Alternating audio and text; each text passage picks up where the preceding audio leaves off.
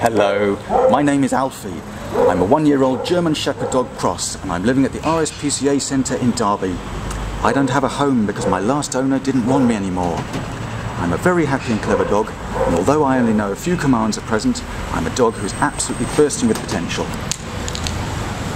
I can find strangers a little bit frightening because I've had a bit of a rough time in the past, so I need lots of calm reassurance to help me become the relaxed and happy dog I should be.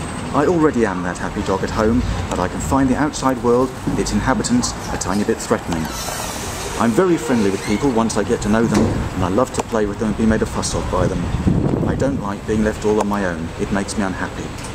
I would be suitable for a dog experienced household where any children are aged at least 10 years, where I would always have someone to keep me company.